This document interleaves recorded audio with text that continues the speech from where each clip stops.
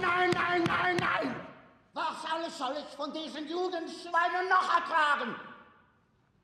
Ich schlachten meine Männer ab wie Fliegen. Kennen Sie schon das neueste Gerücht, das Sie in Ihrem angstgetriebenen Wahn verbreiten?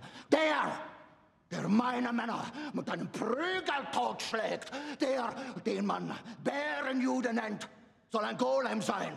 Das ist doch Soldatentratsch. Kein Mensch glaubt wirklich, dass der Bärenjude ein Golem ist. Und wenn doch, die schlüpfen uns doch ständig durch die Finger wie Gespenster, die nach Belieben erscheinen und verschwinden können. Sie wollen beweisen, dass sie aus Fleisch und Blut sind. Dann bringen Sie sie mir. Ich werde sie nackt an ihren Füßen am Eiffelturm aufhängen und ihre Leichen in die Kanalisation werfen lassen, dass die Ratten von Paris sich an ihnen mästen. Kliest. Ja, mein Führer.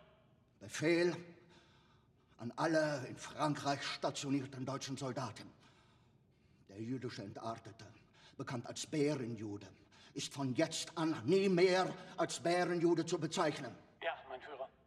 Wünschen Sie noch den Gefreiten Butz zu sehen? Wer oder was ist ein gefreiter Butz? Der Soldat, den Sie persönlich treffen wollten.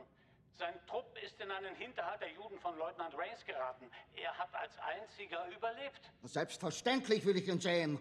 Danke, dass Sie mich erinnern. Schicken Sie ihn rein.